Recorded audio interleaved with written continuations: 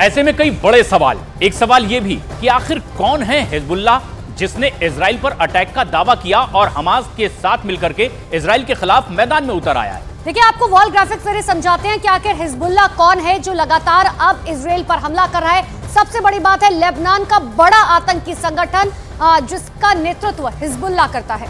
और ऐसे में अब ईरान समर्थित आतंकी संगठन के तौर पर भी इसकी एक दुनिया भर में बड़ी पहचान है जो इसमें हमास को समर्थन करते हुए हमले कर रहा है। आपको यह भी समझना पड़ेगा इसकी शुरुआत कहाँ से हुई थी? उन्नीस में इसराइल ने लेबनान पर हमला किया था।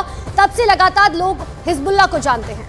लेकिन खास बात यह है कि लेबनान पर हमले के बाद अस्तित्व में आया हुआ यह संगठन लगातार इस तरह की आतंकी गतिविधियों में शामिल है और अब हमास को उसी तरह से मदद कर रहा है। तो उन्नीस में आधिकारिक रूप से जो है इसकी स्थापना की और ईरान ने इसराइल के खिलाफ इस्तेमाल इसे करना शुरू किया और उसके बाद से कुछ ऐसी गतिविधियों में लगातार शामिल है। और देखिए हिजबुल्ला के आतंकी इसराइल पर लगातार हमले करते रहे और एक बार फिर से हिजबुल्ला के आतंकियों की तरफ़ से हमला किया गया।